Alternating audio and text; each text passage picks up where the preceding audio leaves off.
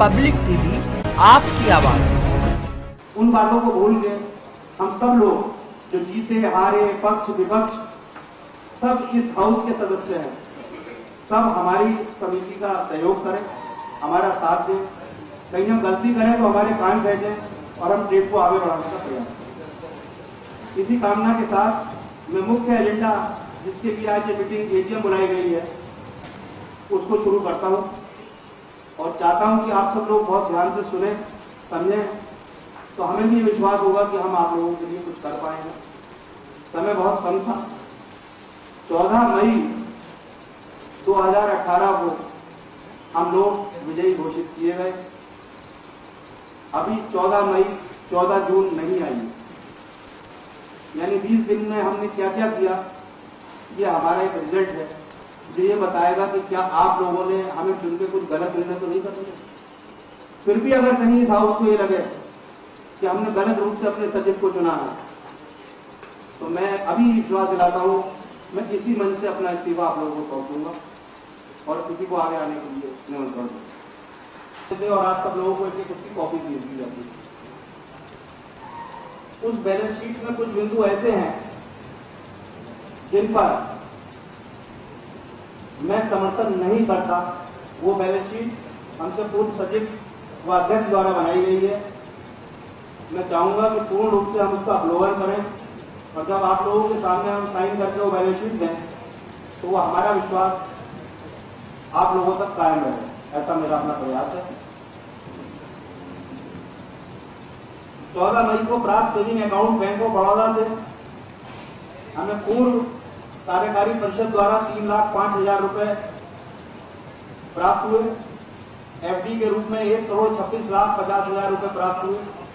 ये सब इसलिए हम बता रहे हैं कि हमने क्या लिया और जब हम अगली बैलेंस शीट आपको दें तो हम आपको बता पाए कि हमने क्या किया। आप सबकी नॉलेज में होना चाहिए, क्योंकि हमारा पहला लक्ष्य है कि हम लोग पारदर्शी तरह से डायमंड पॉलिसी की तरह से ये काम करेंगे। जिस तरीके से आप देख रहे हैं, हमारे निरंतर मेल आपके पास जा रहे हैं कि हमने डे बाई डे क्या किया है, इसी तरीके से ये बैलेंस शीट भी आपके सामने रहे और आपको पता लगे कि आपने जो पैसा, जो चंदा जो डोनेशन दिया है, वो किस कारण में प्रयास किया के द्वारा कि जो भट्टियाँ हमारे कारीगरों की अवैध रूप से वसूली के लिए बंद हो रही हैं, प्रदूषण का भय दिखाकर वो बंद न की जाए उन लोगों को समय दिया जाए ताकि वो लोग अपग्रेड हो सकें। हमारी इस प्रार्थना को जो भी एसपी सिटी महोदय ने तुरंत स्वीकार करके पुलिस को आदेश दिया कि किसी प्रकार की चेकिंग नहीं जैसे ही इस बैलेंस शीट का कार्य पूरा हो जाएगा, हम लोग आपके दरवाजे तक, आपके ऑफ़िस तक, आपकी मेज तक ये बैलेंस शीट कोरियर के माध्यम से या स्पीड पोस्ट के माध्यम से बहुत जल्दी प्रयास करेंगे पहुँचाने का। लेकिन मैं ऐसा चाहता हूँ कि जो भी आगे आने वाला समय हो, हमारे कार्यकाल का, उसमें बैलेंस शीट का सीए द्वारा, दूसरे किसी गवर्नमेंट नॉमिनेटेड सीए द्वारा ऑडिट हो, ताकि हमें कहीं भी बेईमानी करने का अवसर प्राप्त हो साथ में जो पिछले पाँच वर्षों का कार्य था उस बैलेंस शीट का भी ऑडिट हो। कि पिछले पाँच साल में क्या क्या देखिए, मैंने आपको बताया कि अभी दो दिन पूर्व ही मेरे को बैलेंस शीट प्राप्त हुई है। और मैंने आपको कुछ बिंदु बताए, जिस पर मेरा समर्थन नहीं है।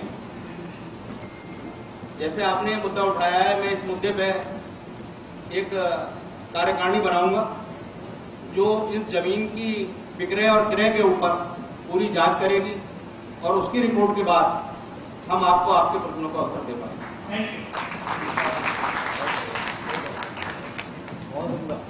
निर्यातक अत्यंत परेशान थे जीएसटी के रिफंड को लेकर उसी पीरियड में सर्वप्रथम हमारा एक प्रतिनिधि मंडल जीएसटी के नोडल अधिकारी श्री शशांक से मिला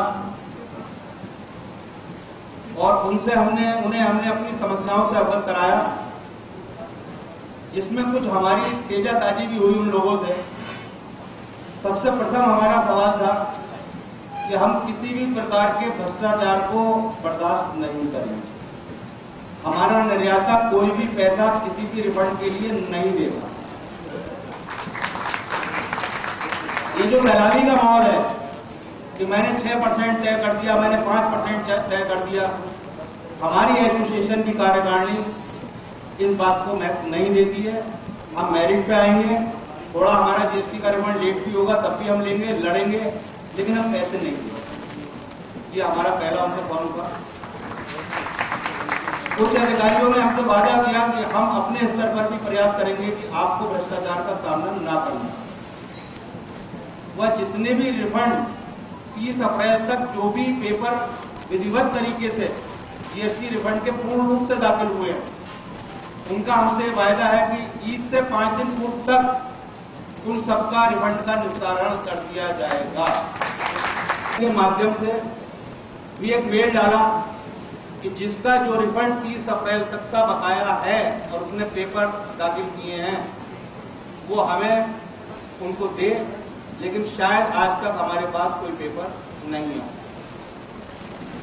थोड़ा धीमी गति से काम होगा, लेकिन आप ये विश्वास रखें कि अगर आपने हमें अपनी नुमाइंदगी दी है तो हमने दलाली करने के लिए आपकी नुमाइंदगी नहीं दी। हम आपका साथ देंगे और अत्यंत जल्द से जल्द आपकी परेशानियों को दूर काम करना पड़ेगा। तो अधिकारियों ने कहा कि हम 10 से 5 काम करेंगे। हमने कहा आपको 10 से 10 तक हमारे साथ काम करना पड़ेगा।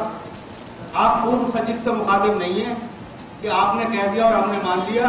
हमारे 600 निर्यातक यहाँ धरना देंगे, आपकी जीएसटी को बंद करा देंगे।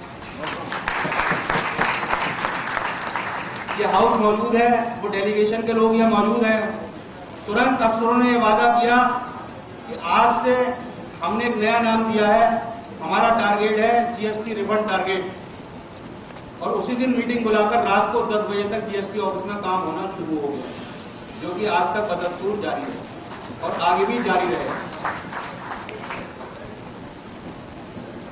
जिसमें मैंने पहली दफे भाग लिया, कमिश्नर महोदय के साथ और सबसे पहला मुद्दा मैंने ये उठाया कि जो ई वे बिल की पचास हज़ार रुपए से नीचे की चेकिंग हमारे कारीगरों की हो रही है। मैं निर्यातकों का प्रतिनिधित्व नहीं कर रहा हूँ। उनसे जुड़े हुए हर व्यक्ति का प्रतिनिधित्व कर रहा हूँ, चाहे वो कारीगर है, चाहे वो रिक्शा वाला है। उसकी समस्याएँ भी मेरी एसोसिएशन की, मेरी कार्यकारिणी की समस्याएँ आपने अगर किसी का रिक्शा रोका है तो हम इससे आपका साथ नहीं देंगे। कमिश्नर साहब ने मुझसे सवाल किया कि भाई ये किस तरीके से निर्धारण होता? है हमने कहा, साहब, आपने छूट दे रखी है जीएसटी अधिकारी को कि उसका बुद्धि और विवेक कह रहा है ये माल साठ हज़ार का। तो उन्होंने सवाल किया कि जो विवेक है, वो तो कभी आपका साथ देता नहीं होगा? मैंने कहा, साहब, विवेक तो इसका साथ देता। ये भरी मीटिंग में गवाह है, प्रेस भी गवाह है तो उन्होंने तुरंत अधिकारी को बुलाकर कहा कि थोड़ा सा अपने विवेक को स्लो कर और जो उचित कार्रवाई है, मुझे कोई शिकायत नहीं मिलनी चाहिए किसी प्रकार की भी, कि ये मुद्दा मेरे सामने दोबारा नहीं आना